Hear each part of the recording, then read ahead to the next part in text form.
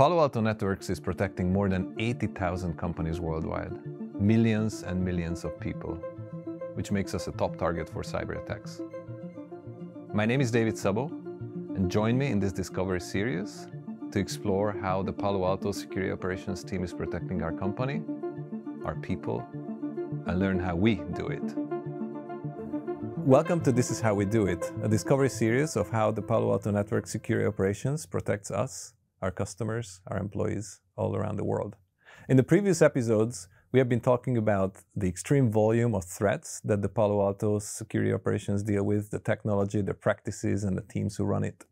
In this episode, I want to look at how we use artificial intelligence and machine learning to make sense of things faster, using the capacity of the machine to outsmart attackers. And with me, I have Billy Hewlett, who is interestingly the grandson of Bill Hewlett of the Hewlett Packard Corporation. Billy leads the AI research team at Palo Alto Networks. His team builds machine learning models to stop malware and other cyber activities. And before Palo, uh, Billy, interestingly again, programmed AI to protect video games such as World of Warcraft to protect the, the innocent players from the trolls. right, Billy? Did I say that right? Yes. Uh, I mean, the problem was, uh, you know, there's all these uh, stolen World of Warcraft accounts. Uh, this was back when World of Warcraft was a huge thing. And there's all these these stolen WoW accounts. And so people would log in and get your password.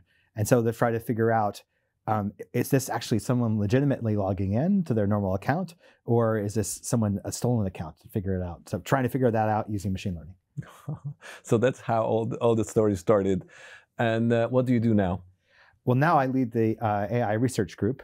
Uh, we uh, so we're trying to use machine learning, artificial intelligence, to protect our customers. So how can we figure out that you know a file, a um, a, a web page uh, a communication, uh, figure out all these things are, are malicious or benign or, or so forth. So that's, I mean, broadly, that's what we do.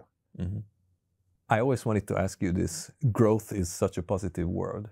Um, we are growing as a company, social networks grow, we grow as individuals.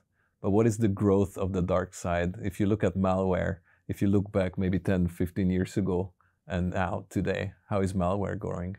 Yeah, I actually had to look this up. But uh, so in 2012, uh, there was something like 85 million unique malware out there. Uh, and now we have more than a billion. So, what, more than 10, 15x in 10 years? Uh, it's growing fast. Tell us some exciting ways of how our products use your inventions. Uh, so, I lead the AI research group at Palo Alto Networks. Uh, and uh, we build machine learning to try to protect the customer. So imagine that you have a web page and you're trying to figure out if this web page is phishing. Mm-hmm. Uh, you can take the web page, you can look at the, the content that's on the web page, you can look at the image of the web page, you can look at the URL of the web page. All of these things will allow you to make a decision to say this is a phishing page or this is not a phishing page. And, uh, and this is done with machine learning. If you can imagine that uh, you know, it would be best if you had a, an expert to look, come look at a page. Uh, but now imagine that you have to do this uh, 50 to 60 million times a day. Um, that's a scale at what we're talking about. So obviously you can't have, you know, you can't have, do that uh, uh, at, at, that scale with an expert. So instead you have a machine, you train a machine to do it. Uh, and that's how we, we provide the, the security as far as I know, every most attacks start as a phishing. So I can imagine that that's the top of the funnel for an attacker. And maybe a user intelligently can tell from the URL, but a machine who has no idea what is supposed to be there doesn't. How do you deal with that problem? Yeah, I mean, I think phishing is really interesting. There's there's been an evolution of attacks and defenses. So we start off and we're looking at the web page and we're getting the content on the web page and we're getting, you know, the text on the web page says, you know, this is American Express and, you know, you need to give in your password. And so we start off with there and, and we're, we're, we're fine in, in, in, detecting that this is, this is a phishing page.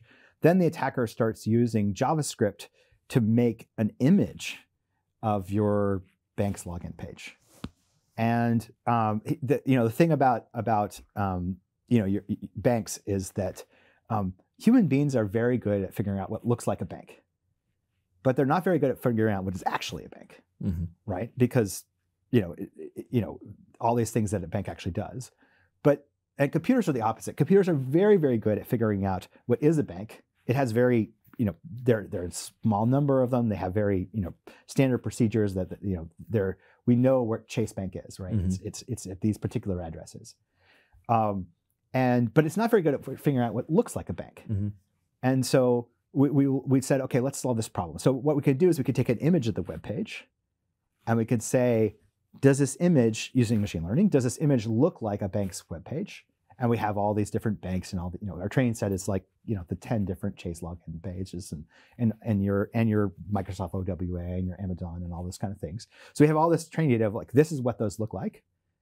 Now, if you look like a bank and you're not a bank, well, then we got you, right? That's Mhm. that's that's phishing. Mhm. Wow. And but I presume that for, you're not doing this on the fly. You need to crawl the entire internet to find these pages before, right? And then you maintain a database to say, okay, this wants to look like Chase Bank, but no. Well, so actually, that's very that's very interesting. So um, again, how we used to do it, how we do it now. So how we used to do it is we we used to just uh, uh, have a database. So it was actually called PanDB, Palo Alto Networks Database, was how we did the the the, the, the URL filtering product. And it, what would happen is is the customer would look up, you know, I'm trying to go to Google.com, and it goes from the firewall to the, our cloud, and we say, yeah, Google.com is search engines. And so it's like, okay, it's benign, right? Um, and but uh, the the problem with that is uh, cloaking. So the attacker now we'll make a page so that if we go to visit the page from the web, it'll show us some benign content, and if the customer visits the page from their IP address, it looks malicious. So this is called this is called cloaking. Uh, it's gotten so bad. There was one where we got a page that said, "Hello, Palo Alto Networks researcher." like they had us, they had us stone cold, right? So we so we know that this this, this sort of evasion is going on. So what can we do about it? Um, well, the idea is um, we can move the machine learning from the cloud to the firewall. And so, and, and there's two ways we, can do that. Um, one of them is we can actually put the machine learning uh, in the firewall. Um, and this was this was in uh, uh, 10.0. Um, and uh, so we can run we can run ML um, on the firewall on the traffic that's actually going through there. The other thing we can do, and that, this is this is much more recent, is we can figure out okay, this traffic looks a bit odd. It's a bit strange. It's say it's coming from an unregistered a new domain. So what we're going to do is we're going to we're going to forward this traffic to the cloud. We're going to hold this traffic and we're going to forward it to the cloud, and we're going to make the we're going to run our advanced ML on it in the cloud, and then we're going to let it and assuming it's benign, we're going to let it go, or we're going to say it's it's block it, it's malware. Um, so we can do this sort of at speed. The customer, you know, types in a web page and it loads, or it doesn't load because we blocked it. Um, and so this is how we can get around this this cloaking. So thinking of all those inventions that you have been creating in the past few years, what are you mostly proud of?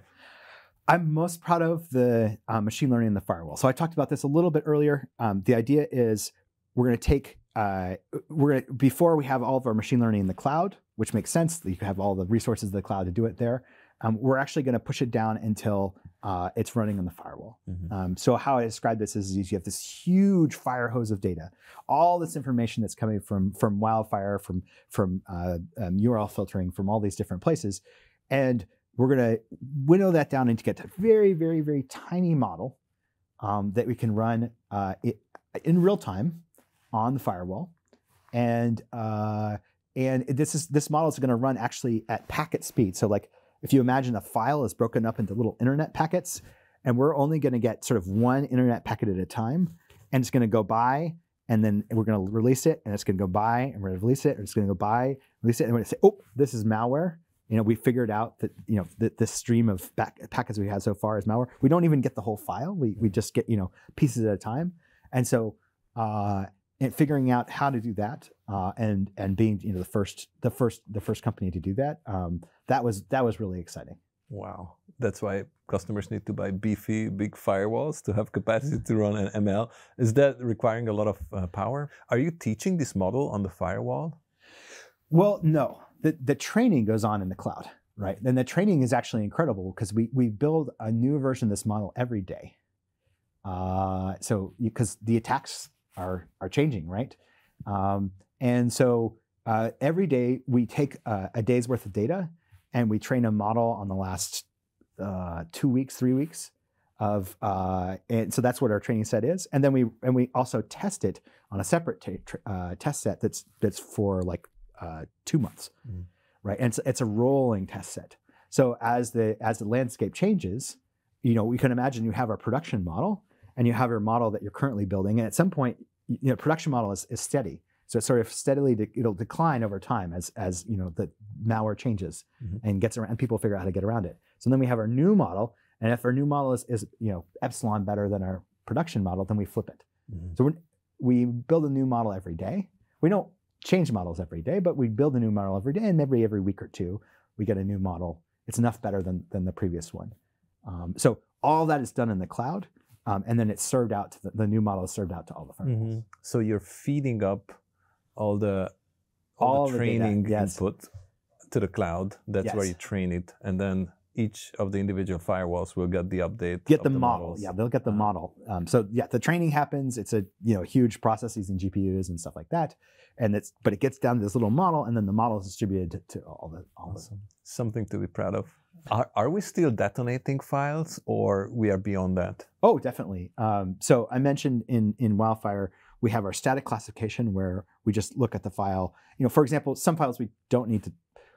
There's files where you can you know, you can cryptographically assign them, Mhm. right? And so this will be like your Microsoft update, right? And so Microsoft says, you know, cryptographically this is this is a Microsoft update. No one else can claim this is a Microsoft update. Yep. So for those ones, we don't need to do anything special with it. We can just we can just make sure we verify that it's cryptographically correct. Good. Um, so and then there's all the static detection where we can say, okay, we, we this looks like you know if this is a couple characters off of a malware one, we're just going to call it malware. Mhm. Uh, but the ones that, that don't, we can do dynamic. So dynamic is where we're going to detonate. So we take the file, we run it uh, in in a in a, in a, a PU. Uh, we actually do this again all over the world. So if, it, if it's coming from EU, we're running it, at, uh, you know, in in a um, in an instance, a GCP instance in in in in the EU, or AWS instance here, and so forth. So we're we're running these all over the world. We run the file, we see what happens, um, and there's a whole there's a whole bunch of uh, actually um, this is called the hypervisor. Mhm. So there's this this idea of are you actually running in a simulation? Mhm. So you know we talk about that in like the Matrix and stuff like that, right? But um, in this case, the the computer program is trying, you know, the malware is trying to figure out, am I actually running in a simulation? And so and so we have to be very clever of, you know, oh no no, you're not running in simulation. This is what This real the life real is. hardware. this is real, yeah. You're, Boom. you're running on real hard, right? So we have us like running on real hardware, and we have you know, so we so there's another cat and mouse game of of this this hypervisor of trying to fool the malware into thinking this is actually you're running on your target machine. Mhm. Um, so it's like, is this real life? And like, yeah, this is real life. Okay, okay. So I'll I'll do my attack then. So you have to convince it that it's not virtual, Mhm. um, that it's real, and then so then it does all of its all of its things. So yes, we do definitely do detonate them all the time. Wow. So, so in this example, you're actually running this in a virtual environment, but some would survive because they're smart enough to tell that this is a virtual environment. What happens with those? I mean, they uh, sure. I mean, if you get, uh, you know, if they get complicated enough, you know, maybe they go and they, um, you know, they check the time, right? And then they, you know, maybe they try to, maybe they try to go to Google, right? They try to go to Google and they check the time, and then they run some process and see how long it goes, and then check the time. Like, so there's, there's like very, you know, they get very complicated uh, ways. But, but fortunately, um, a lot of times we can detect these. Um, just from the evasive steps they're taking. Mhm. So we don't actually necessarily detect the the malware. Um, we detect. Wait a second, they're doing all these evasive things, and you know, there's only you know we have like two things on this benign list that, that actually are allowed to do you know that we know do these things. Everyone else who does these things, i- i- that's not a normal thing for a program to do. Acting suspiciously. Yeah, Boom. you're acting suspiciously, right? And and we got you. So um, a lot of times that's that's how we we we figure it out. It's it's it's a cover up, not the actual crime that we see sometimes on these. Wow. Well, you have been doing this for a while at Palo Alto Networks. You joined us 2013, right? 2013, yes. a long time ago. So, if you if you can remember back in those days or even before, at uh, looking at the sheer volume of growth and the complexity involved, Like, at what point did it become impossible to find fight against this volume, fight against this complexity? You know, outsmart attackers using human power. I mean, it was starting even then. I mean, when I joined, it was the first uh, ML group. There was two other data scientists at, at Palo Alto Networks, uh, and uh, one of them was is still here. Uh, and uh, and uh, you know, so that was the very beginning. And that then we were just looking at web pages um, because it's pretty obvious that you know it, it, doesn't scale very well. But as I as I mentioned with, with Wildfire, we we start getting we start getting machine learning. We start putting into Wildfire, and now we put machine learning you know, in DLP, we put, put machine learning in, in DNS, we, in basically all the different um, uh, product lines, we're, have, we're putting machine learning because we have this problem of how do we automate our defenses? And the way we're going to do that, we're not going to have, you know, super, we have super experts here, but there, there's not very many of them in the world, right? So we want to automate their, their, their, their knowledge, their expertise, and put it everywhere. Mm. And that's what we use ML for. Mm. Wow. Do you ever come across machine on the other side? So we've we've th this is a big thing in academia, which is called adversarial AI, which is like how you use AI to bypass AI, how you use AI to attack AI, adversarial. Um, we don't have proof yet that the attacker is using AI. We have proof that they're using techniques to try to foil our AI, knowing that we're using AI. Um, but we don't have evidence yet that um, they're actually using AI against our AI. However, the, the pieces are out there. I mean, if you look, there's open source building blocks to do this that are out there. So we're starting to harden our defenses against these kind of attacks. Do you feel prepared when the time comes? I mean, uh, I think we're doing what we can. Uh, sometimes you know, it's a tricky thing. Will we trade off? Will we will we have worse detection right now so that we're better against this hypothetical attacker that's using AI? Probably not. We're not going to make that trade-off until we have evidence. On the other hand, can we get prepared for it? Can we, you know, change our, our ways, our training methods and stuff so that we can we, we can we're prepared for it when it happens? Yes, we're definitely doing that. Mm. All right. Thank you, Billy. And in the next episode, we'll talk about detection engineering and some details of how we use SIEM at Palo Alto Networks. Until then, hasta la vista.